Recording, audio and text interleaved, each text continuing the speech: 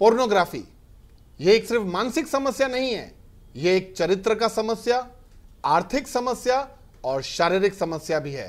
Hello दोस्तों, मैं गिरीश, आपका स्वागत करता हूँ एको जीवन के लिए सनातन सत्य में।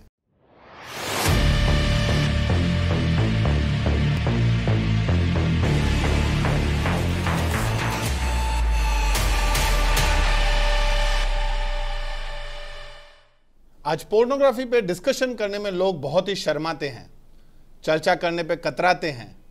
कुछ लोग तो इसको एक अलग ही नज़रिए से देखते हैं। न जाने क्यों लोग इसको गंभीरता से लेते नहीं है कि इसके बारे में सीखना, सोचना, समझना बहुत ही ज़रूरी है। अगर हम नहीं सीखेंगे, नहीं जानेंगे, नहीं समझेंगे तो इसके बहुत ही गंभीर और अनैतिक असर हो सकते हैं।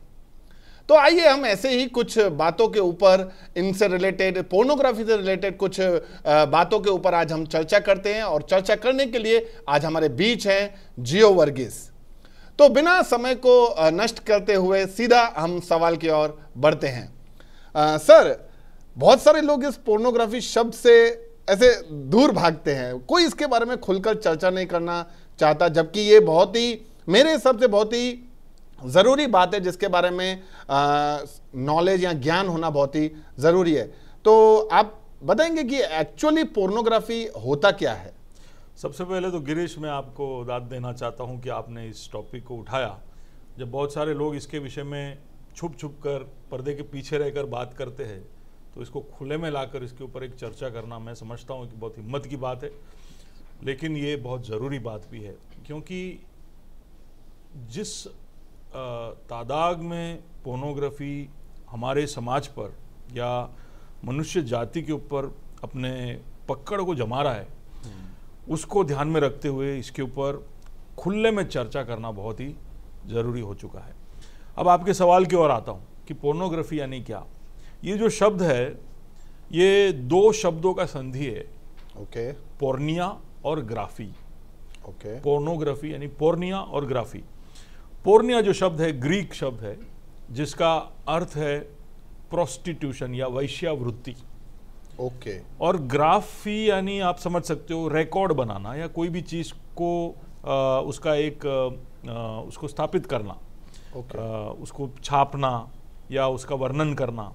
रिकॉर्ड जब क्रिएट करते तो उसको ग्राफी बोलते तो पोर्नोग्राफी यानी तुम वैश्यावृत्ति का एक रिकॉर्ड बना रहे हो। वो है पोर्नोग्राफी का अक्षरिक अर्थ। ओके तो पुराने समय में पोर्नोग्राफी नहीं होता था पोर्नो ही होता था पोर्निया ही होता था। Okay. लेकिन उसको जब अब रिकॉर्ड किया जाता है तो उस पूरे प्रोसेस को पोर्नोग्राफी बोलते हैं।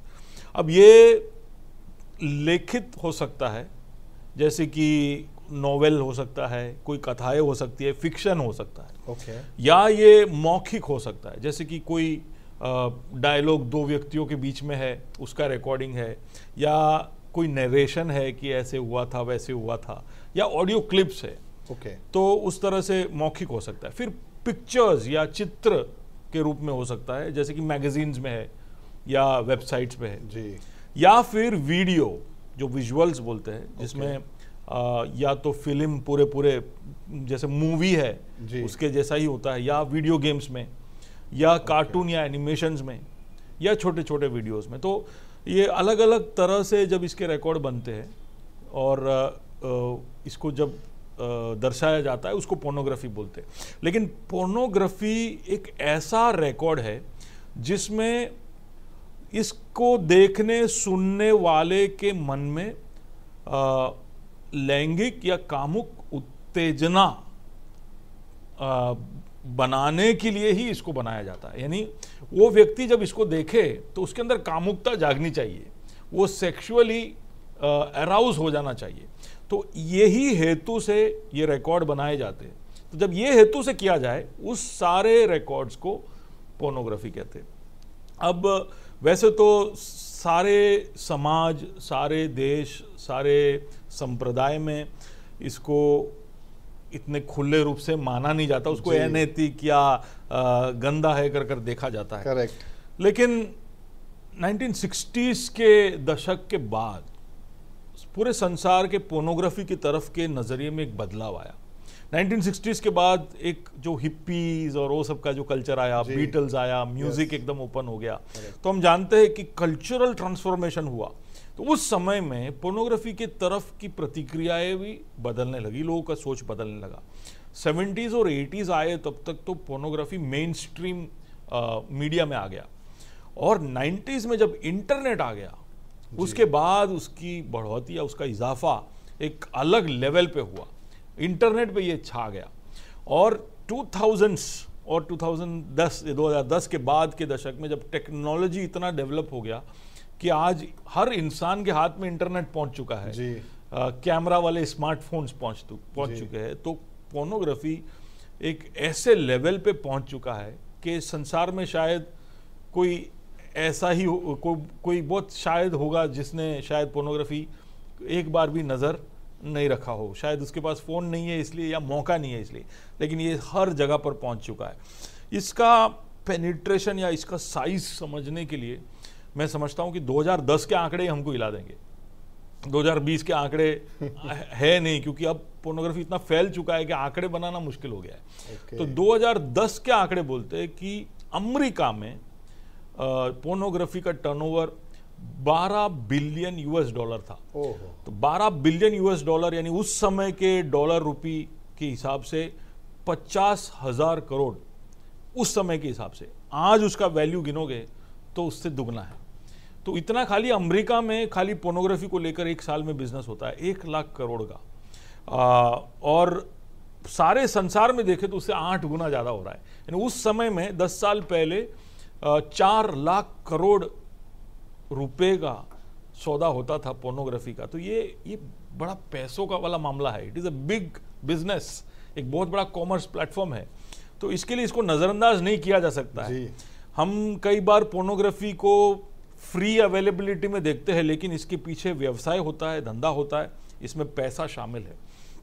और आजकल तो पोर्नोग्राफी एक बहुत ही अलग ट्रैक पे जा रहा है जहाँ पर अ, मांगे हो रही है रेप की मांगे हो रही है कि भाई रेप के वीडियो दिखाइए या छोटे बच्चों के पोर्नोग्राफी दिखाइए या जानवरों के साथ जो हो रहा है वो दिखाइए। इस तरह का एक अलग एंगल ही पोर्नोग्राफी पकड़ रहा है। आम तौर से पोर्नोग्राफी दो तरह के होते हैं। उसको दो कैटेगरी में देखे जाते हैं। जी। एक तो हार्ड कोर दूसरा सॉफ्ट कोर हार्ड कोर यानी जब सब कुछ खुल्लम खुल्ला दिखाया जाता है बिना कोई भी तरह के लिमिट के हिचक के उसको हार्ड कोर बोलते और जब उसमें थोड़ी सी अ, लाज तो नहीं बोल सकता। उसमें थोड़ा सा कंसील कर कर पूरा दिखाए बगैर थोड़ा छुपा छुपा कर जब उसको दिखाते तो उसको सॉफ्ट कोर बोलते। Okay. और ये दोनों तरह के पोर्नोग्राफी की मांगे पूरे संसार में बहुत ज़्यादा है। वैसे कहते हैं कि नेटफ्लिक्स ट्विटर और अमेजोन ये तीनों को मिला दो तो कितना काम होता है? उससे ज़्यादा काम पोर्नोग्राफी में होता है। ओहो अमेजोन नेटफ्लिक्स और ट्विटर तो 30 परसेंट आज इंटरनेट पोर्नोग्राफी से भरा हुआ है। तो ये है पोर्नोग्राफी और इस इस विषय को हम ज़रा भी नज़रअंदाज नहीं कर सकते, हमें इसके ऊपर बात करना चाहिए।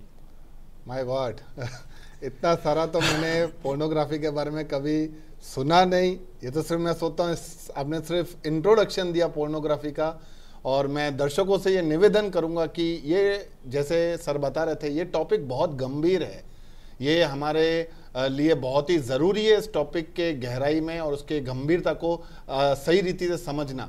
तो आप ज़रूर इस टॉपिक पे बने रहें क्योंकि बहुत सारी ऐसी बातें आने वाली हैं जिनसे हमें बहुत सारा सीखने को मिलेगा और हम बहुत सारे ऐसी जगहों से बच पाएँगे जहाँ पे हम गिर सकते हैं।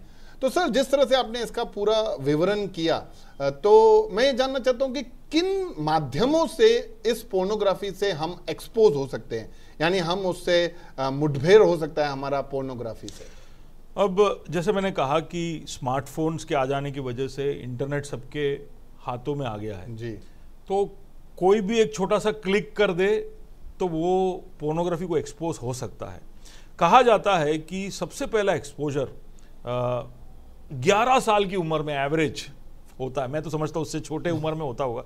और इस लॉकडाउन के बाद तो जब फ़ोन अब हर हाथ में पहुँच गया हर बच्चे के हाथ में फ़ोन है तो उतनी छोटी उम्र में भी पोर्नोग्राफी को एक्सपोज होने के जो चांसेस है वो बढ़ गए हैं।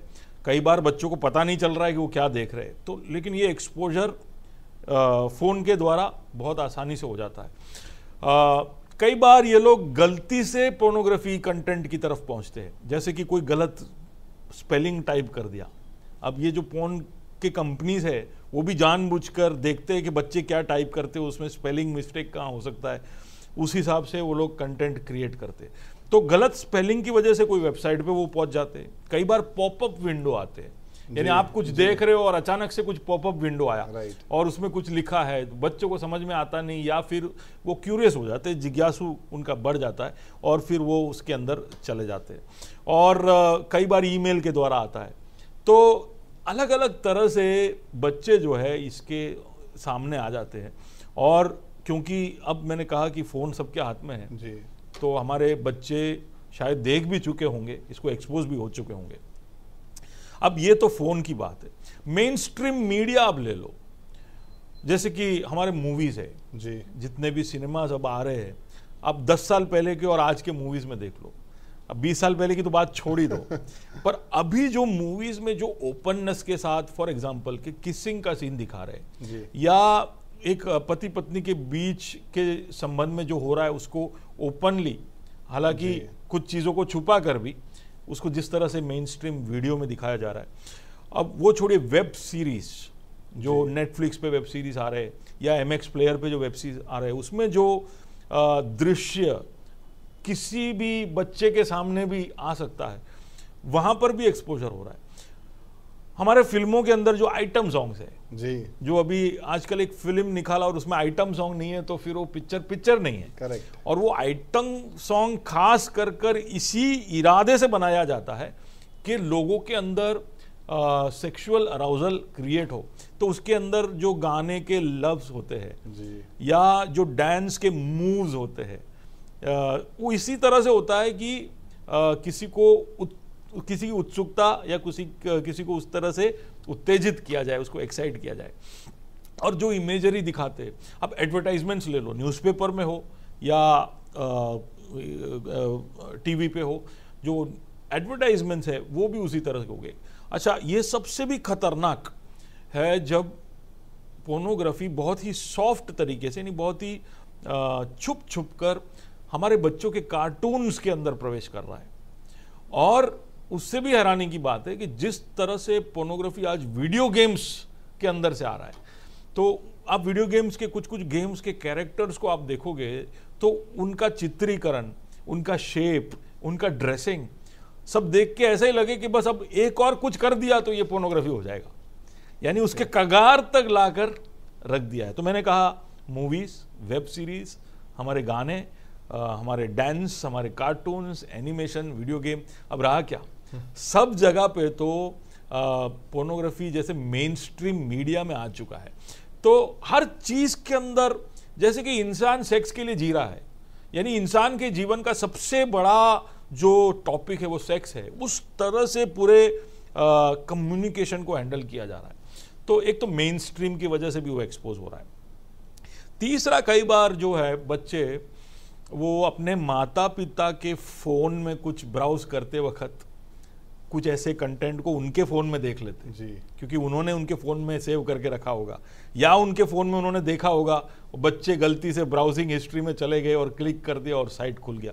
कई बार कोई मैगजीन्स कुछ माता पिता छुपा के रखती है। अब उसकी ज़िम्मेदारी पूरे इस माता पिता की है। लेकिन बच्चे कई बार इस तरह से भी एक्सपोज होते हैं। और एक और एक्सपोजर का माध्यम जो बहुत बड़ा खतरनाक है वो भी मैं आपके ध्यान में लाना चाहता हूँ। खासकर ये लॉकडाउन के बाद ये अब बढ़ गया है इसके लिए मैं आपके सामने ये बात रख रहा हूँ कि कई सारे बच्चे ऑनलाइन जब अलग अलग प्लेटफॉर्म्स पे जाते हैं तो कहीं ना कहीं हो सकता है कि वो किसी न किसी के साथ चैटिंग शुरू कर दे। तो कुछ वेबसाइट्स में जब अगर रीडिंग का भी वेबसाइट है जहाँ पर वो कुछ पढ़ रहे हैं तो वहाँ पर भी उनके दोस्ती बन जाती है किसी के साथ और चैटिंग करना शुरू करते हैं। अब ध्यान रखने की ज़रूरत है कि सेक्सुअल प्रिडेटर्स ओके नाम का एक एक एक, एक वर्ग का डेफिनेशन अभी दिया गया है। सेक्सुअल प्रेडेटर्स जो ऑनलाइन बैठे रहते हैं चैट करने के लिए। और जब बच्चे या जवान या कोई भी चैटिंग करता है तो वो सामने वाला व्यक्ति जो प्रेडेटर है शिकार है शिकारी। शिकारी है वो अ, इस तरह से सवाल पूछता है कि उसको जानकारी मिल जाती है कि ये व्यक्ति कितने उम्र का है कहाँ बैठा है और इसकी ज़रूरतें क्या है ये क्या ढूंढ रहा है उसका वीकनेस क्या है। तो इतने इनडायरेक्ट सवाल को पूछ पूछ कर ये सब इंफॉर्मेशन लेकर धीरे धीरे से अगर उसको पता चल जाए कि सामने वाला व्यक्ति वल्नरेबल है इसका कमज़ोर है। हाँ कमज़ोर है और इसको एक्सपोज या इसको मिसयूज़ किया जा सकता है। तो फिर धीरे धीरे उत्तेजना देने वाले लिंक वीडियोस ये सब भेज भेज कर बच्चों को कई बार या जवानों को कई बार इस दिशा में धकेलते हैं। अब मैंने कहा कि एवरेज एज शायद 11 साल का होगा जब बच्चे इसमें एक्सपोज हो जाते लेकिन सच में तो ये तो क्योंकि डेटा कौन बताएगा कि मैंने 11 में देखा या मैंने 10 में देखा? तो अंदाज़ा अनऑफिशियली ऐसा है कि आठ से नीचे होगा एवरेज एज जब बच्चे पोर्नोग्राफी को एक्सपोज हो जाते हैं। और बच्चे एक बार एक्सपोज हो जाते हैं तो इनके लिए क्या है? ये बड़ा इंक्यूजिटिव हो जाती है कि ये है क्या? ये चीज़ कभी हमने अम, कभी भी टीवी पे तो देखा नहीं खुल्लम खुल्ला इसका कुछ बात होता नहीं तो वो समझ नहीं पाते कि ये हो क्या रहा है। तो उस इंक्विजिटिवनेस की वजह से वो वापस उसको देखना चाहते कि ये हो क्या रहा है। और कई बार जब बच्चे या जो टीनेजर्स है या जो एडोलेसेंस चौदह पंद्रह साल के होते हैं वो जब ये देख लेते हैं तो उनको ये भी प्रेरणा मिलती है कि हम थोड़ा सा इसको ट्राई करके देख लें इसका एक्सपेरिमेंटिंग करें। तो कई बार बच्चे उस तरह से भी आ, इसके अंदर शामिल हो सकते हैं जो आ, कई बार परिवार के अंदर अंदर ही बड़े जो बच्चे हैं वो छोटे बच्चों के साथ इस तरह की प्रवृत्ति में शामिल हो सकते हैं। तो इसको थोड़ा भी हम लाइटली ले नहीं सकते हैं। क्योंकि हमारे घरों के अंदर ये हो रहा होगा। माता पिता समझते हैं हमारे बच्चे कितने अच्छे हैं। जब देखो होमवर्क कर रहे हैं जब देखो ऑनलाइन पढ़ाई कर रहे हैं। लेकिन ये सब पीछे के विंडोज़ में चल रहा होगा और इनको अं- अंदेशा भी नहीं होगा कि ऐसा सब हो रहा है। और वही नहीं वो चीज़ें अब प्रायोगिक भी की जा रही है घर में।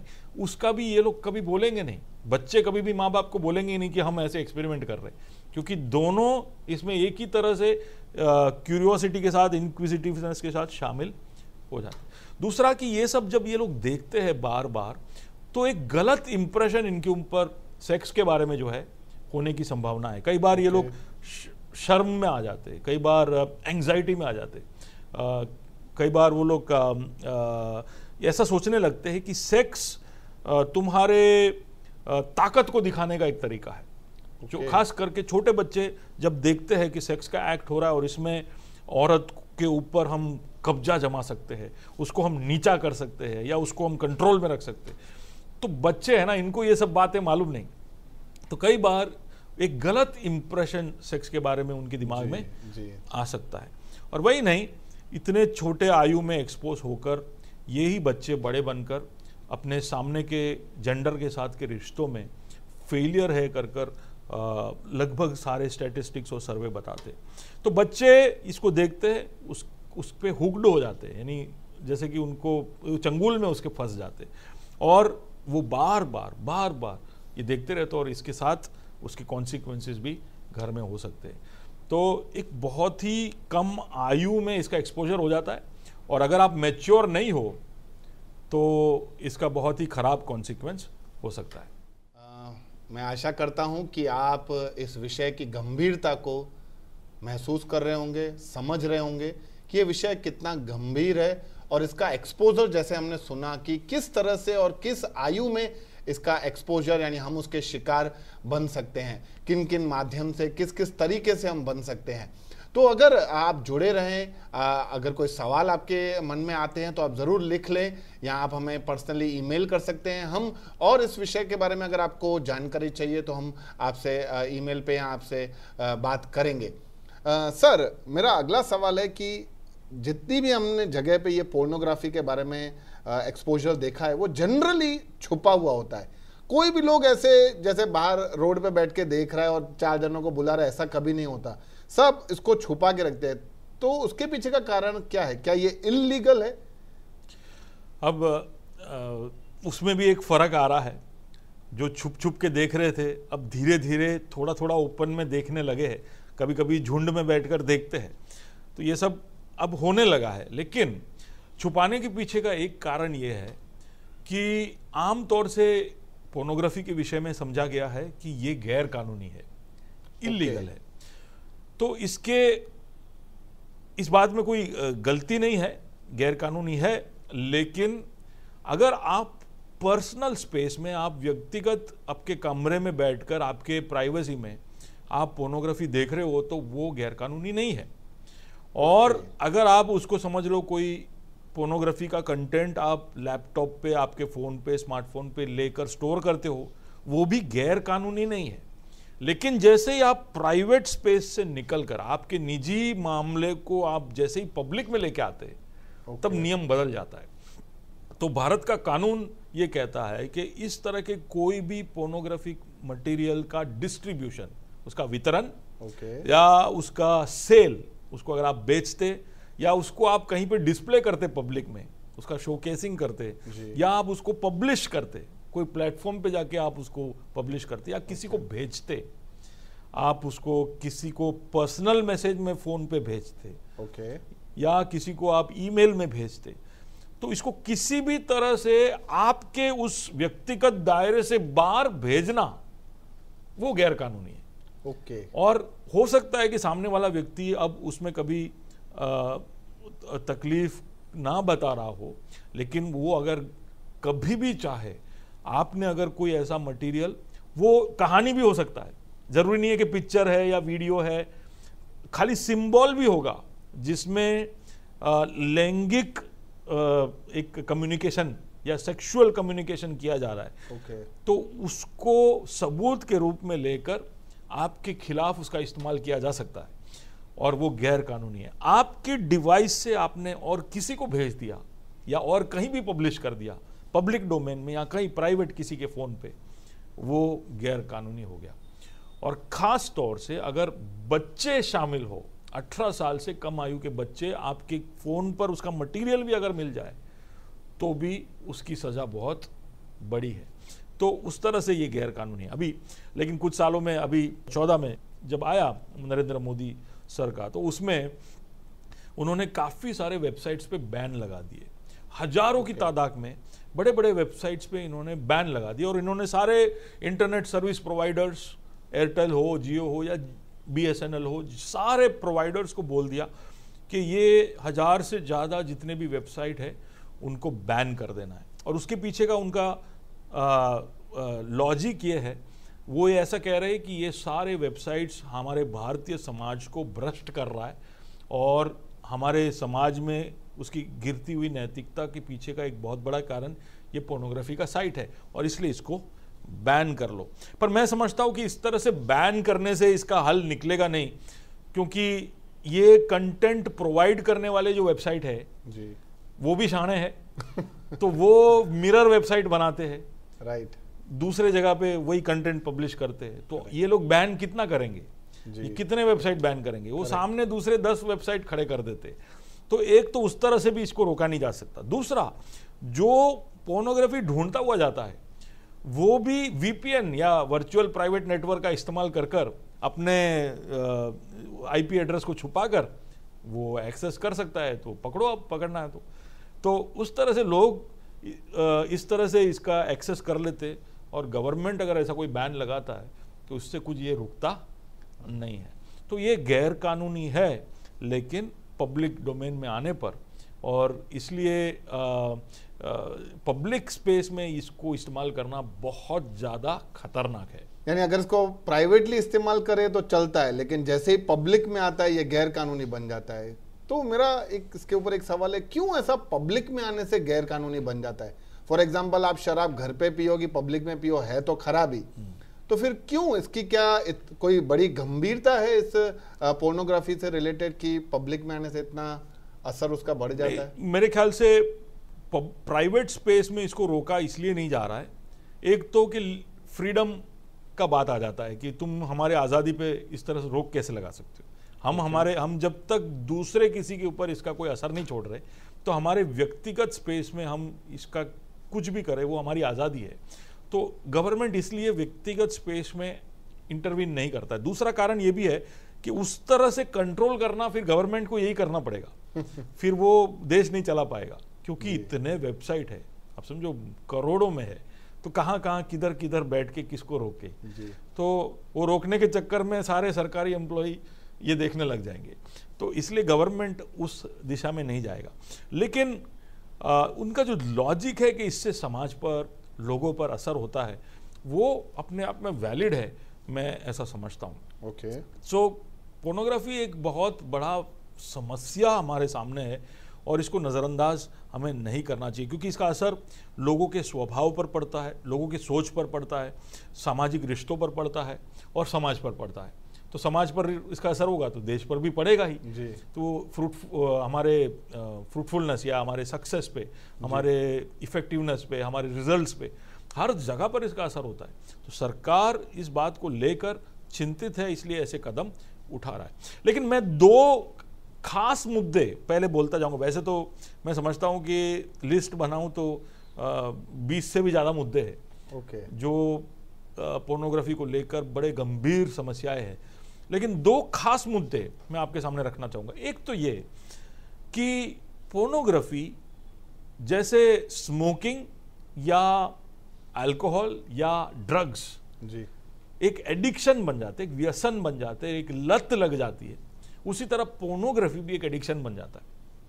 अब एडिक्शन के रूट में आप जाओगे तो एडिक्शन कैसे होता है? फॉर एग्ज़ाम्पल आपने शराब पिया तो शराब पीने की वजह से उसके अंदर के जो तत्व है वो आपके शरीर के अंदर हॉर्मोन्स रिलीज़ करते हैं। ओके डोपोमाइन नाम का हार्मोन है ऑक्सीटोसिन नाम का जो। हार्मोन है। ये सब हार्मोन्स ऐसे हार्मोन्स है जो हमें उत्तेजित करते हैं हमारे अंदर प्लेजर को पैदा करते हैं। तो आप जब शराब पियोगे तो डोपामाइन रिलीज़ होता है। आप सिगरेट पियोगे डोपामाइन रिलीज़ होता है। आप ड्रग्स लोगे तो डोपामाइन रिलीज़ होता है।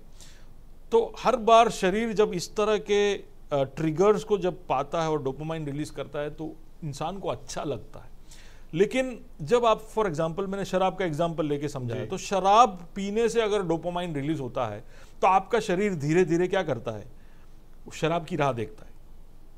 ओके शराब आएगा फिर मैं डोपोमाइन रिलीज़ करूँगा। यानी आम तौर पर आप जो दूसरे क्रियाकारी करते हो उसके अंदर वो डोपोमाइन रोक के रखेगा। वो शराब की राह देखेगा क्योंकि अब उसके लिए आसान है ट्रिगर है। तो वो शराब का अंदर जो भी अल्कोहल है वो जब उसके शर, वो शरीर डिटेक्ट करता है तब डोपामाइन रिलीज़ करता है। जब ऐसा हो जाता है कि शराब के बिना मज़ा नहीं आ रहा है जी। वो स्टेज पे जब एक इंसान पहुँचता है उसको एडिक्शन बोलते हैं। अब यही चीज़ पोर्नोग्राफी के साथ होता है। तो पोर्नोग्राफी जब इंसान देखने लगता है तो उसके अंदर डोपामाइन रिलीज़ होता है। और फिर एक वो ऐसे स्टेज में पहुँच जाता है कि जब तक वो पोर्नोग्राफी ना देखे तब तक उसको खुशी ही नहीं मिलती। उसको ऐसा लगता है लाइफ में मज़ा नहीं आ रहा है। ओके सब कुछ थोड़ा बोरिंग जा रहा है। तो फिर वो और फ़ोन में क्लिक करो और पोर्नोग्राफी सामने। जी। शराब के लिए तो तुमको खर्चा करना पड़ता है दूर जाना पड़ता है बाहर जाना पड़ता है छुपा के रात को करना पड़ता है ड्रग्स के लिए भी आप ऐसा नहीं कर सकते। Correct. स्मोकिंग भी छुप छुप के करना पड़ता है। पोर्नोग्राफी तो आप कहीं भी बैठो बाथरूम में बैठे लगा दिया बटन दो दबा दिया और शुरू हो गया। तो ये इतनी जल्दी से जब मिल जाता है तो इसकी लत उसको जल्दी से लग जाती है और धीरे धीरे कर कर इसके बगैर अब उसका चलता नहीं है ऐसा हो जाता है। अब आप बोलोगे कि ठीक है स्मोकिंग शराब के जैसा ही एक एडिक्शन है ना ये। जी। पर स्मोकिंग जब एक इंसान करता है तो उस स्मोकिंग के साथ जुड़ा हुआ जो एक टॉक्सिन है निकोटिन जी। जो शरीर शरीर में जाता है।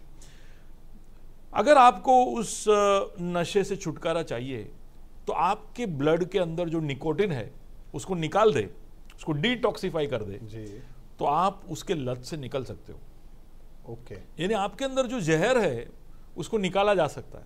शराब है तो भी आपके शरीर में जो जहर है उसको निकाला जा सकता है डिटॉक्सीफाई हो सकता है। ड्रग्स है तो भी ऐसा हो सकता है। लेकिन अगर पोर्नोग्राफी की लत लग जाए तो आपके अंदर कौन सा जहर घुसा? आपके खून के अंदर पोर्नोग्राफी ऐसा कोई छाप नहीं छोड़ता कोई जहर नहीं छोड़ता। जिससे आपके अंदर से जहर निकालकर आपको शुद्ध किया जाए। क्योंकि पोर्नोग्राफी आपके ब्लड में नहीं जाता आपके दिमाग में जाता है। ओके। okay. ये मेमोरीज बनकर आपके अंदर स्टोर हो जाता है। अब उसको निकालना बहुत मुश्किल है। यानी पोर्नोग्राफी से डिटॉक्सीफाई नहीं किया जा सकता। स्मोकिंग और अल्कोहल और ये सबसे इंसान को हम ट्रीटमेंट करके रिहैबिलिटेशन सेंटर में भेज के आपने सुना होगा। कि स्मोकिंग और ड्रिंकिंग के रिहैबिलिटेशन सेंटर है। तीन महीने तक आप उनको यहाँ रख दो हम उनको डिटॉक्सिफाई करके शुद्ध करके वापस दे देंगे। लेकिन पोर्नोग्राफी के लिए ऐसा नहीं किया जा सकता। इसलिए मनोवैज्ञानिक कहते हैं कि आज संसार में जितने भी लत या व्यसन है उसमें सबसे खतरनाक सबसे डेंजरस इंसान जिससे छुटकारा नहीं पा सकता है वो एडिक्शन है पोर्नोग्राफी एडिक्शन तो ये अपने आप में हमारे लिए एक बहुत बड़ा समस्या है। और इसके लिए आज भारत सरकार एक के पीछे एक ऐसे नियम निकाल रहा है क्योंकि उसको पता है कि अगर इस तरह से रहा तो एक बड़ा पॉपुलेशन हमारा इसके एडिक्शन में आ जाएगा और फिर इसके असर में हम सब फंस जाएँगे। हम लार्जेस्ट ग्रोइंग इकोनॉमी है हम संसार में आगे बढ़ना चाहते हैं और हमारे लोग अगर पोर्नोग्राफी देख के बैठे रहेंगे तो काम कौन करेगा? समझे? और इसके साथ जुड़े हुए आगे हम मैं बात करूँगा मैं बताऊँगा कि कैसे इससे हमारे हर क्षेत्र में असर होता है। अब एडिक्शन में भी आपको समझना चाहिए कि अलग अलग स्टेज होता है। जी। ऐसा नहीं है कि आपको लत लग गया। पहले इनिशियल एक्सपोजर है कि आपने देखा और आप इंटरेस्टेड हो गए लेकिन फिर एडिक्शन हुआ कि अब इसके बिना चलेगा नहीं। लेकिन फिर एक ऐसा स्टेज आता है जिसको एस्केलेशन बोलते हैं। अब एस्केलेशन में क्या होता है कि आप 10 मिनट देखोगे तो आपका जी नहीं भरेगा। अब आपको आधा घंटा देखना पड़ेगा। फिर आप आधा घंटा देखकर जी नहीं भरा भरता है आपका। फिर आप एक घंटा देखते हो। ऐसे धीरे धीरे कर कर ऐसे लोग हैं जो पोर्नोग्राफी में तीन तीन, चार चार घंटा देखते रहते हैं। और उसके बगैर उनको चलता नहीं है, क्योंकि पहले जो एक झलक में उनको सेटिस्फेक्शन मिल रहा था अब तीन तीन घंटे देखकर भी नहीं हो रहा है। तो इसलिए वो फिर क्या करते हैं? जल्दी से एक्साइटमेंट लाने के लिए अलग अलग तरह का पॉन देखते हैं। Pornography okay. के अंदर भी कैटेगरीज है ओके कि स्त्री और पुरुष के बीच है। जी। फिर अनेक स्त्री और एक पुरुष के बीच है। अनेक पुरुष और एक स्त्री के बीच है। ओके बहुत सारे पुरुष और स्त्री के बीच है।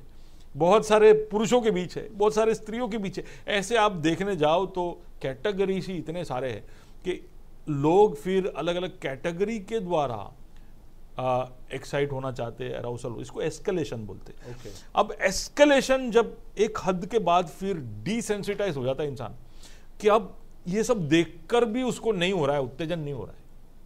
तो उसको अब वो फिर अ, कुछ ऐसी चीज़ें करने लगता है देखने लगता है जो साधारण रूप से वो अपने जीवन में नहीं करता। या अगर अ, पहले उसको मौका मिलता तो भी वो कभी ऐसा सोच भी नहीं सकता। ओके। तो उस स्टेज पे वो डिसेंसिटाइज हो गया। और उसमें वायलेंस हो जाता है उसमें मैंने जैसे कहा जानवरों के साथ या बच्चों के साथ ये अलग अलग तरह के वियर्ड या अम, अ, बहुत ही घटिया किस्म के पोर्नोग्राफी की तरफ़ वो बढ़ने लगता है। अब ये स्टेज पे जब वो पहुँच गया एडिक्शन में फिर अब अगला सिर्फ़ मौके की राह देख रहा है वो। ओके जब वास्तविक जीवन में उसके सामने ऐसा कोई मौका आ जाएगा जहाँ पर उसने आज तक जो कुछ भी देखा है उसको प्रायोगिक कर सकता है। आप समझ लो घर पे वो बैठा है और घर पे कोई ऐसा है बहन है कजिन है नेबर है या कोई बच्चा आ गया जिसको जिसकी कमज़ोरी का इस्तेमाल कर कर वो एक्सपेरिमेंट कर सकता है तो वो कर लेता है। इसलिए हम खबरों में न्यूज़पेपर्स में हम देखते ही है कि 16 साल के जवानों ने तीन साल की बच्ची का रेप किया। जी। आ, या 14 साल के लड़के ने इकहत्तर साल के दादी माँ का रेप किया। ये सब कैसे होता है? जब आप पोर्नोग्राफी के एडिक्शन के अंदर एस्केलेशन और डिसेंसिटाइजेशन स्टेज को क्रॉस कर लेते हो संवेदनशीलता आप खो लेते हो जी। फिर आप ऐसा कोई क्रिया करते हो। तो ये अपने आप में एक बहुत बड़ी समस्या है और इसलिए सरकार इसको बहुत सीरियसली ले रहा है और इसलिए ये सब वेबसाइट को बैन कर रहा है। आ, हम सरकार को हम ऐसा समझते हैं कि यार इनको कोई काम धंधा नहीं है हमारा मज़ा ख़त्म कर रहे। हैं। लेकिन वो लंबा सोच रहे कि इससे समाज के ऊपर लोगों के ऊपर क्या असर हो सकता है। मैंने कहा मैं दो विषय खास जो है वो बताऊँगा। एक तो ये है। जी। दूसरा है कि मैंने अभी 2010 के आंकड़े आपको बताए। करेक्ट। पोर्नोग्राफी का जो इंटरनेशनल रेवेन्यू है चार लाख करोड़ दस साल पहले। जी। वो आंकड़े हालाँकि पोर्नोग्राफी देखने वाले और पब्लिश करने वाले कंटेंट बढ़ गए हैं देखने वाले लोग बढ़ गए उसके बावजूद पोर्नोग्राफी का रेवेन्यू जो है आमदनी जो है वो कम होता जा रहा है। तो वो एक चिंता का विषय आप बोलोगे आपको क्यों चिंता है इसमें? अच्छा है ना कि आमदनी कम हो रहा है। लेकिन आम, आप समझिए कि आमदनी कम क्यों हो रहा है। अगर लोग ज़्यादा देख रहे हैं अगर ज़्यादा कंटेंट पोर्नोग्राफी का बन रहा है जी। तो तो रेवेन्यू बढ़ना चाहिए ना। जी। क्यों नहीं हो रहा है? तो उसके पीछे कारण ये है ये आमदनी इसलिए बढ़ रहा है क्योंकि फ्री में पोर्नोग्राफी देने वाले लोग बढ़ गए हैं।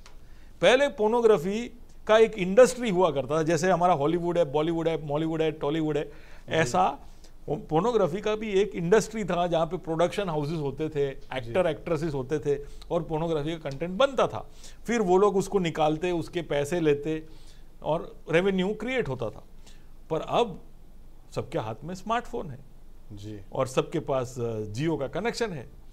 तो धड़ाधड़ कंटेंट बनाओ अपलोड करो और फ्री में दो क्यों? क्योंकि आज जवान कैसा हो गया है कि अगर लोग मुझे देख लेना नंगा तो क्या हो गया? पर देख रहे हैं ना लाइक कर रहे हैं ना सबको अटेंशन चाहिए। तो ये सब कारणों की वजह से क्योंकि फ्री में इंटरनेट पे पोर्नोग्राफिक कंटेंट देने वालों की तादाद बढ़ गई है इसके लिए आमदनी कम हो गई है। ये एक बड़ा चिंता का विषय है। हो सकता है कि हमारे घर के बंद कमरों के अंदर से हमारे बच्चे इसको अपलोड कर ले। तो ये हमारे लिए चिंता का विषय है। जी। तो इसलिए ये एक गंभीर समस्या है। करेक्ट इसको हम कारपेट के नीचे दबाकर इसके बारे में बात ना कर कर ये टॉपिक हम नहीं बात करते। ऐसा कर कर हम उस ऑस्ट्रिच नाम का जो पक्षी, पक्षी है।, है ना जो आ, मिट्टी के अंदर आता है तो हाँ, मिट्टी में। मिट्टी में सर डाल के छुप जाता है। उसको ऐसा लगता है कि ऐसे करने से तूफ़ान चला जाएगा उसको कुछ नुकसान नहीं होगा। ये बिल्ली जो है अगर दूध पी रहा होता है और उसको ऐसा लगता है कि कोई देख रहा है तो आँख बंद कर लेता है और दूध पीता है। उसको ऐसा लगता है कि उसके आँख बंद करने से कोई उसको डिस्टर्ब नहीं करेगा। तो इस तरह का एक प्रतिक्रिया है हमारा।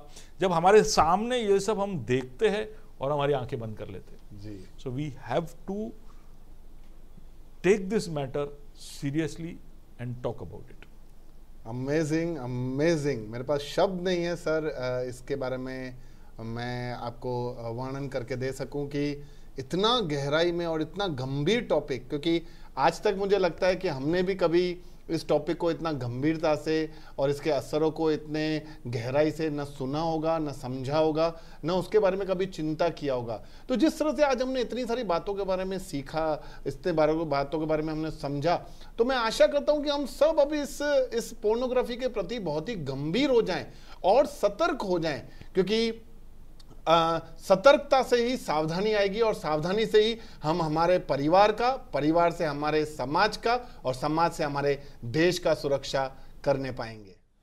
सर, आपने जिस तरह से ये पोर्नोग्राफी एज एन एडिक्शन से कनेक्टेड करके बताया और आपने जिस तरह से बताया कि ये एडिक्शन से भी बहुत ही गंभीर है, क्योंकि बाकी सब एडिक्शन से तो हम बाहर आ सकते हैं, लेकिन पोर्नोग्राफी के एडिक्शन से बाहर आना बहुत ही मुश्किल है। तो क्या ये सिर्फ़ एक एडिक्शन तक ही सीमित है या उसके और भी कोई शारीरिक असर आ, हम देखने पाते हैं? हर एडिक्शन हमारे जीवन के हर क्षेत्र के ऊपर असर करता है। ऐसा नहीं है कि खाली अभी आप स्मोकिंग करते हो तो ऐसा नहीं है कि केवल आपके शरीर पे इफ़ेक्ट करता है। आप एक लंबे समय में जब उसको देखोगे तो आपके पारिवारिक जीवन पर भी उसका असर होता है। आपके आर्थिक परिस्थिति पर उसका असर होता है। आपके प्रोडक्टिविटी पर असर हो जाता है। तो हर व्यसन जो है हमारे जीवन के हर क्षेत्र पर असर करता है। तो ठीक उसी तरह पोर्नोग्राफी भी हमारे जीवन के हर क्षेत्र में असर करता है और उसमें शारीर भी असर का सामना करता है। अब शारीरिक जो असर होते हैं उसमें से कुछ मैं आपके सामने बताऊँगा। सबसे पहला कि पोर्नोग्राफी जो व्यक्ति बार बार देखता है वो कई बार रात के समयों में देखता है। जी। और क्योंकि शुरुआत में भले थोड़े समय के लिए देखता हूँ फिर उसको दो घंटे तीन घंटे देखना पड़ता है। तब जाकर उसको ऐसा लगता है कि मैं एक सेटिस्फाई हुआ हूँ मानसिक रूप से भी और शारीरिक रूप से भी। तो इसलिए कई बार पोर्नोग्राफी के व्यसन में जो लोग हैं वो ठीक से नींद नहीं ले पाते। ओके। तो स्लीप डिप्राइवेशन होता है जिसके साथ जुड़े हुए बाकी जो भी तकलीफें शरीर में आ सकती है वो आती है। आ, फिर मैं आगे बताऊँगा लेकिन अभी मैं उसका वर्णन करते हुए जा रहा हूँ कि पोर्नोग्राफी के साथ हस्त मैथुन जुड़ा हुआ है। मास्टर बेशन जुड़ा हुआ है। आप स्वयं भोग कर रहे हो। जी। तो उसकी वजह से भी हम शारीरिक रूप से थक जाते हैं। जी। तो इन जो भी जवान इसका है वो कई बार एक बार नहीं अनेक बार कई बार इसको देखकर उत्तेजित होकर इसमें शामिल होता है। तो शारीरिक रूप से भी वो एग्जॉस्ट हो जाता है। और ये एग्जॉशन की वजह से अगले दिन सुबह एक तो नींद पूरा नहीं हुआ और ऊपर से शरीर ज़रूरत से ज़्यादा थक चुका है। अ, अपने लिमिट से ज़्यादा वो परफॉर्म कर चुका है। तो अगले दिन फटीग में चला जाता है। हैंगओवर जो बोलते हैं जो शराब पीकर अगले दिन जब इंसान उठता है तो हैंगओवर जो फील करता है कुछ ऐसा ही फटीग उसको फील करता है। और ये सब की वजह से बैठे बैठे ये देखते रहने से अलग अलग पोजीशन में फ़ोन पकड़ते रहने से आ, उसको टेनिस एल्बो हो सकता है उसको व्रिस्ट में पेन हो सकता है बैक के इश्यूज़ रीढ़ के हड्डियों के इश्यूज़ हो सकते हैं। और खुद के हाइजीन का अपने स्वास्थ्य का अपने स्वच्छता का भी वो ध्यान कई बार रखता नहीं क्योंकि उसको रुचि यही है कि कैसे भी कर कर और ज़्यादा वीडियो मैं देखूँ। जी। तो एक तो इस तरह से असर हुआ। दूसरा जो स्टडीज़ या स्टैटिस्टिक्स ये बोलता है कि बहुत सारे जवान लोग जो बचपन से ही इसको देख देख कर आदि हो जाते हैं इनको एक बीमारी लगती है जिसका नाम है इरेक्टाइल डिसफंक्शन। इरेक्टाइल डिसफंक्शन का मतलब है कि वो पुरुष जो है वो जब एक स्त्री के साथ संभोग या सेक्स में शामिल होना चाहता है तो उसका इरेक्शन वो एक्सपीरियंस नहीं कर पाता। Okay. जिसकी वजह से वो एक सेक्सुअल रिलेशन में इंडल्ज नहीं हो पाता। तो जब आपने पोर्नोग्राफी देख देख कर आपने अपने दिमाग को इस तरह से ट्रेन कर दिया है कि वो देखने पर ही आपको इरेक्शन होता है जी। तो जब आप वास्तविक एक व्यक्ति के सामने खड़े हो जाते हो तो उसको देखकर आपको इरेक्शन नहीं होता।